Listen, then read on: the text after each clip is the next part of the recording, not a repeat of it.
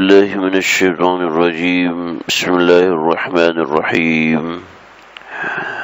ولما جاءت رسلنا لوطا سيء بهم وضاق بهم زرعا وقال هذا يوم عصيب. وجاءه قومه يهرعون إليه ومن قبل كانوا, كانوا يعملون السيئات.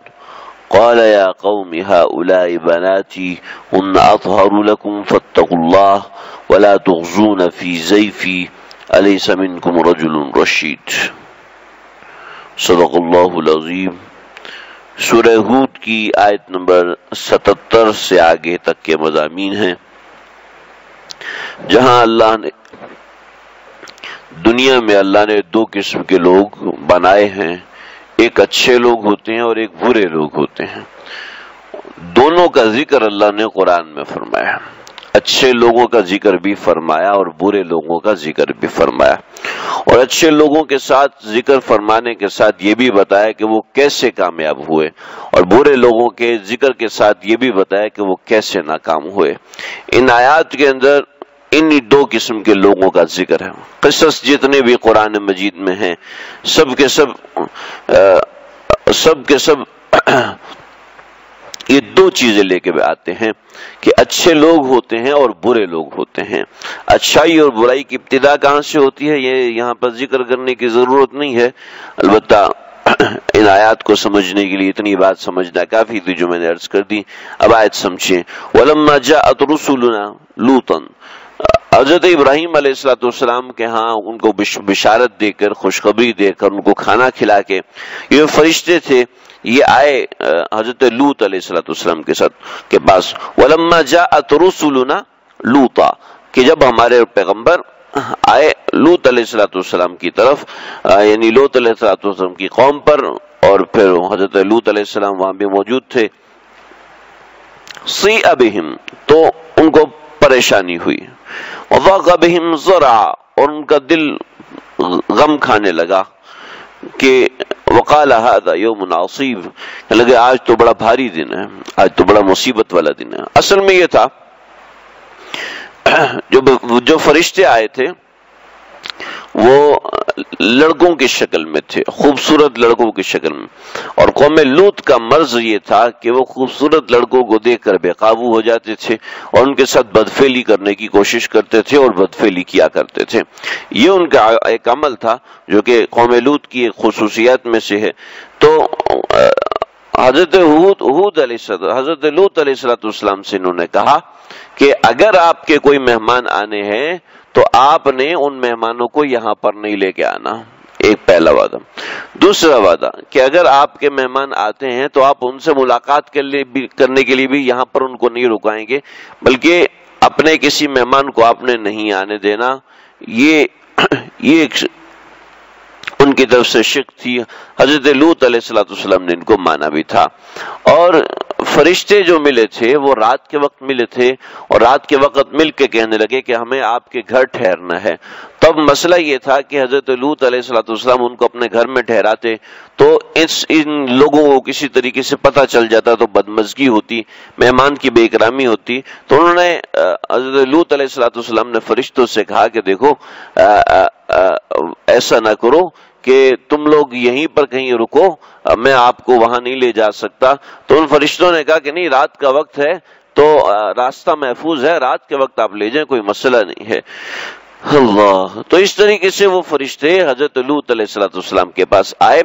لیکن آنے کی صورت یہ تھی کہ کسی ابہم وبا کبہم ذرا کہ لوت علیہ السلط والسلام کو کا دل بہت دکھ ہی تھا، بہت غم میں تھا، پریشانی میں تھا کہ اب کیا ہوگا؟ اور سی ابھی ان کو اس سے تکلیف پہنچی کہ اب فرشتے ملے ہیں، اب یہ نوجوان ملے ہیں، یہ گھر جانے کا کہیں گے۔ تو اس سے ان کا دل دل غمگین ہوا۔ اس کے پیچھے بنیادی وجہ یہ تھی۔ اور وجہ اور پھر حضرت علیہ السلام ان کو رات کے وقت لے آئے۔ لے کر آ کے مسئلہ یہ ہوا کہ انہوں نے کہا کہ, کہ بالکل راز کی بات ہے کسی کو بتانی نہیں ہے۔ چنانچہ سب نے وعدہ کیا کسی کو بھی نہیں بتائیں گے۔ لیکن حضرت لوت علیہ السلط والسلام کی بیوی چونکہ مسلمان نہیں تھی تو انہوں نے اپنی قوم کے لوگوں کو بتایا تو قوم کے لوگوں نے جب سنا تو وجہ قوم تو ان کے قوم کے لوگ یہ راؤن وہ یہ رہون کا مطلب ہے کہ بھاگتے ہوئے آئے۔ دوڑتے ہوئے جلدی کی صورت میں مجمع لگا کے دوڑنا جسے کہتے اس کو تو یہ ہو رہا ہوں نہیں تو وہ دوڑتے ہوئے پہنچے۔ من قبلی من قبل کانو یا عملون اس سے پہلے بھی وہ برے عمل کرتے تھے یعنی کہ کسی کو معاف نہیں کرتے تھے اپنے گندے عمل کی، اپنی حوث مٹانے کے لیے۔ تو قال یا قوم ہا اولائی بناتی، ہن اطہر لکم۔ حضرت علیہ السلام نے کہا، دوستو لوگوں ہا اولائی بناتی یہ میری بیٹیاں ہیں یا قوم اے میری قوم ہا اولائی بناتی، یہ میری بیٹیاں ہیں، ہن اطہر لکم، یہ تمہارے لیے زیادہ پاکیزہ ہیں۔ ان لوگوں کے نسبت زیادہ پاکیزہ ہیں۔ یہاں پر ایک بڑی مارکت العرا بحث چلتی ہے، بڑی اہم بحث چلتی ہے کہ حضرت علیہ السلط والسلام نے اپنی بیٹیوں کو کیسے حوالے کر دیا۔ اس ساری بحث کا خلاصہ یہ ہے کہ حضرت علیہ السلط والسلام نے ساری بیٹیوں کی طرف اشارہ نہیں کیا اور اشارت علیہ کا لفظ بھی نہیں آتا کہ انہوں نے اشارہ کر کے خواتین کی طرف کہا، بلکہ یہ مطلب ہے کہ ہاں اولائی بناتی، یہ جو تمہارے گھر میں تمہاری بیوی ہیں، یہ میری بیٹیاں ہیں۔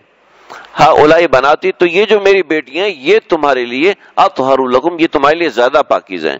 چنانچہ یہ شبہ بھی اس سے جاتا رہا کہ کوئی شخص یہ کہ حضرت لوت علیہ السلط والسلام نے بغیر نکاح کے کہہ دیا کہ آپ لوگ ان سے رابطہ رکھو، ان لڑکیوں سے اپنی خواہش پوری کرو۔ ایسا نہیں ہے۔ تو قال یا قوم هؤلاء بناتی ہن اطهر لكم. تو اس میں دو باتیں ہیں.